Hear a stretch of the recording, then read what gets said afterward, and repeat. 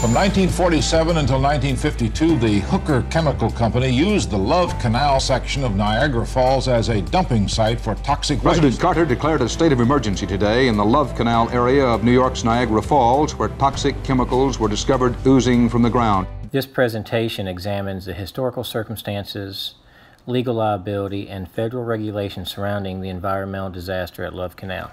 The canal, originally a waterway project intended to connect Lake Ontario and the Niagara River.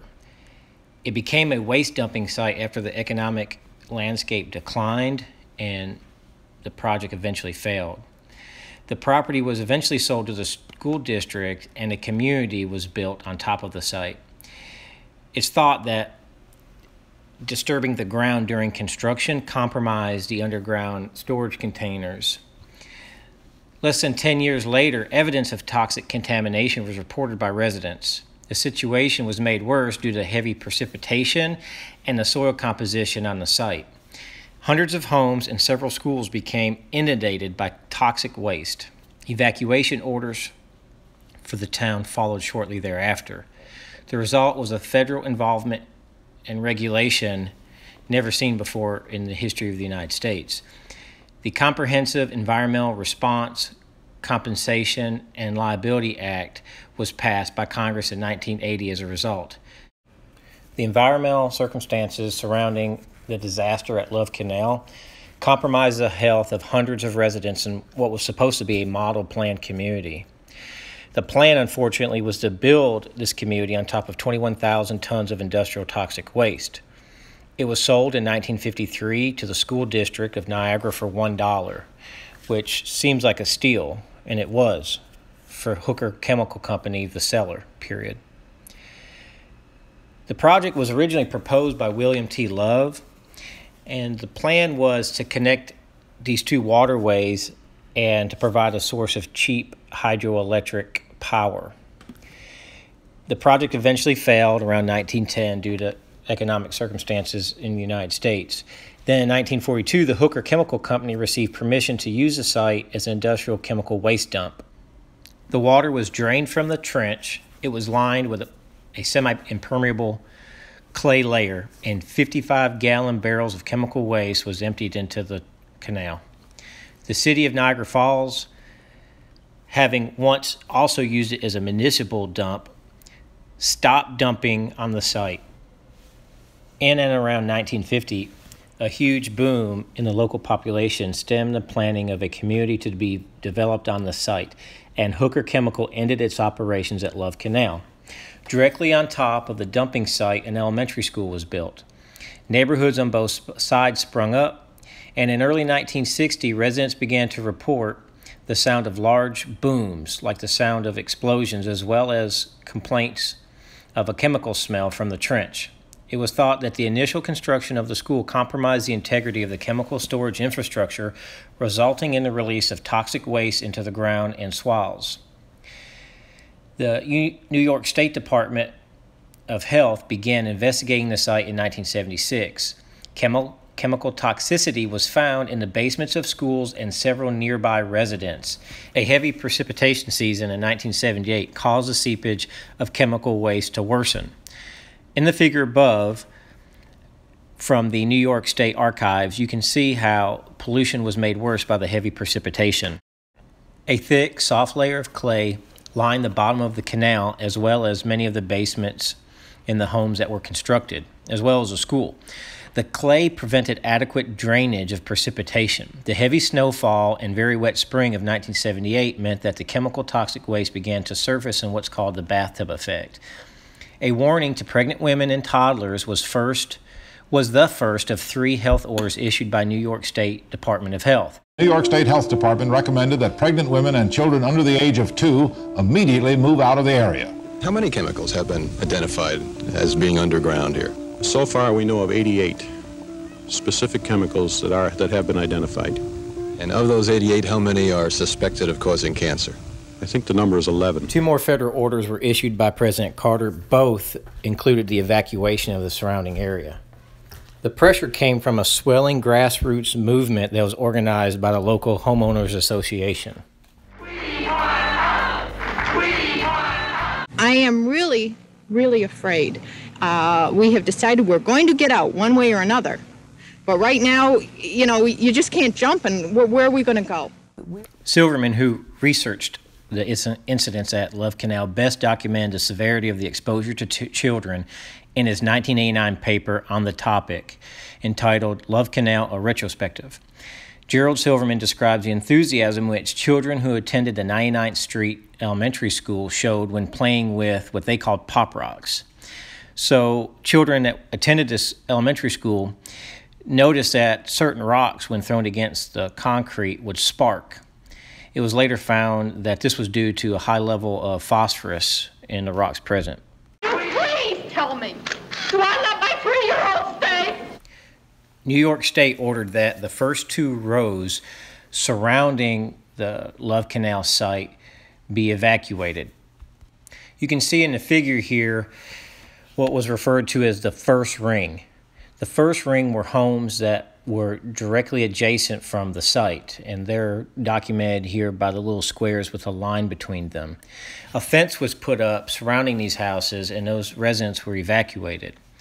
Uh, this caused a lot of unrest with the residents who lived in what was called the second ring. The second ring are the houses in a diagram that are little squares but do not have the line through them.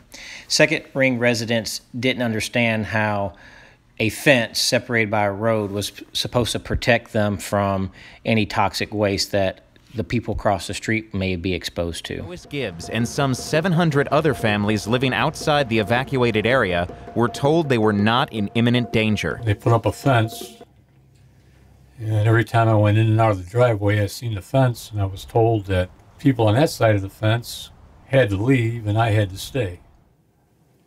which didn't make sense to me at, at, all. By late spring of 1980, more than 950 residents were to be evacuated.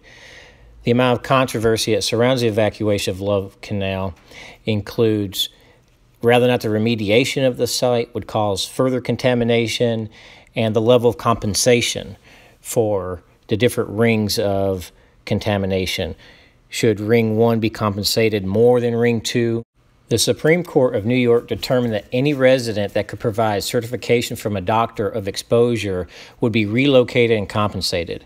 However, doctors, in fear of backlash from the Hooker Company, were reluctant to sign certificates of contamination. The fear was that by signing these certificates, they'd be indirectly or indirectly assigning blame to the chemical company. In August of 1979, the situation became much worse. It was a hot summer, a humid summer, which caused the toxic fumes in the air to become more severe. Several residents got deathly ill.